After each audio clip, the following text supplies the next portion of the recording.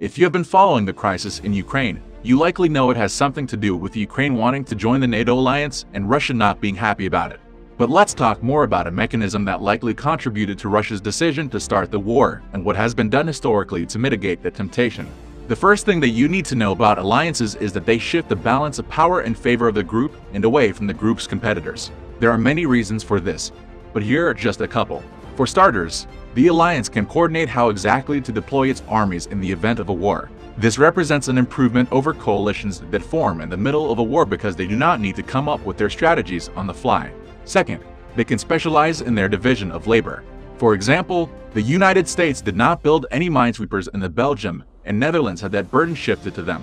Similarly, the United States has only two Arctic-capable icebreakers because it can rely on Canada's nine. Specialization allows for more military goods to be produced, and therefore more military power for the alliance. The downside here is that obtaining the benefits from an alliance can take time. This is obvious for the construction of specialized weapons. You can't just pluck tanks off of trees. But it also applies to coordinating battle strategies. For instance, the 1894 Franco-Russian alliance took three and a half years to fully iron out. We can see how this creates an incentive for Russia to initiate a war in today's world. Suppose that under the current balance of power, Russia could expect to capture this portion of Ukrainian territory. In a war, everything to the left stays Ukraine, and everything to the right goes to Russia. We can let the military planners decide exactly where this line should be. The point is that it is relatively favorable to Russia because Ukraine is on its own. However, war comes with costs. We can incorporate Russia's cost here with this red line. The area between the white and red lines represents the price of lost lives and capital for Russia converted to square miles of land. Now imagine what would happen if Ukraine joined NATO. With the additional power of the alliance, Ukraine would expect to win more. We can also represent Ukraine's future cost of war with this yellow line. And with that, you might begin to spot the problem by fighting now, before an alliance can form. Russia expects to secure up to here net its costs. Looking toward the future, we can see that we are in trouble at a later date. The best possible settlement Russia could extract out of a NATO-backed Ukraine must still leave Ukraine with at least this much. But these respective demands are not compatible. Russia would prefer a war in the present. Such a conflict is called a preventive war, when one state initiates a fight to forestall a power shift, and as an explanation for conflict. It is as old as ancient Greece and the Peloponnesian War, but wars in the shadow of this type of alliance formation are commonplace in world history as well. Think back to the American Civil War. The traditional start of this conflict is the battle over Fort Sumter on April 12, 1861. By that time, South Carolina, Mississippi, Florida, Alabama, Georgia, Louisiana, and Texas had passed secession resolutions. However, nobody died during the battle, and Lincoln's next move was to decelerate the conflict in hope of reaching a settlement. The Union imposed a blockade on the Confederacy, aiming to starve out their economy and supplies. But Lincoln did not restrict the Union to the blockade forever. The invasion began on July, with the Battle of Bull Run a full three months after Fort Sumter. What changed the Union's policy? One important concern that led to the switch in strategy was con. Great Britain relied on Southern con for their manufacturing sector. 79% of its imports came from across the Atlantic. This economic interest led British Foreign Secretary and later Prime Minister John Russell to warn the Union that he was in no hurry to recognize the separation as complete and final, but that Great Britain must hold herself free to act according to the progress of events, as circumstances might require.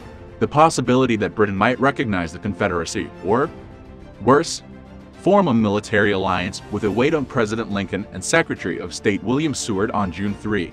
Seward wrote that the principal danger in the present insurrection was that of foreign intervention, aid or sympathy, and especially of such intervention, aid or sympathy on the part of the government of Great Britain.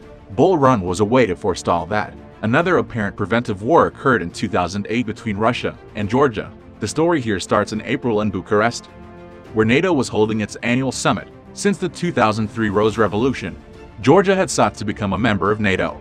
In 2004, NATO gave Georgia an individual partnership action plan, an early set of terms and conditions that would serve as the prerequisites for joining the alliance. The most historically important of these was that Georgia resolved two separatist claims within its territory, both in the north. By the time of the 2008 meeting, President George W. Bush wanted to give Georgia a membership action plan the process that would actually allow them to join the alliance. NATO decided to put this on their agenda for the next meeting in December. This did not sit well with Vladimir Putin. Two days after the summit ended, Russia extended diplomatic relations to both of those separatist regions. This, in turn, created a direct problem with the 2004 requirement that Georgia resolve its separatist claims, and by August the war had started. The good news here is that there are a couple of ways to avoid war. One way is to simply buy the opponent's tolerance of the alliance. This is what happened following the fall of the Berlin Wall. As Germany sought to unify the Soviet Union worried about the implications of NATO taking its first step eastward, the West had a simple solution to the problem. Throw money at it. Helmut Kohl, armed with a seemingly endless supply of Deutschmarks, offered giant loans to the Soviet Union. With the Soviet Union in disarray, Gorbachev had little alternative but to accept the former lands of East Germany were now a part of NATO. An alternative strategy is to limit the extent of the alliance benefits. This is part of why the Sino-American American Mutual Defense Treaty did not induce mainland China to initiate a preventive war. Although the pact covered the defense of Taiwan, it deliberately left out Taiwan's island possessions near the mainland coast. These will later become the subject of the second Taiwan Strait crisis. Of course, we now know that none of these strategies worked out. Part of the problem is that despite ample effort to create international law, there is no central enforcement mechanism that functions around the globe. And given that it's possible that Russia just figured that this is what the world looks like and chose to initiate a war, I hope you found this video helpful. And if you did, please like, share, and subscribe, and I'll see you next time.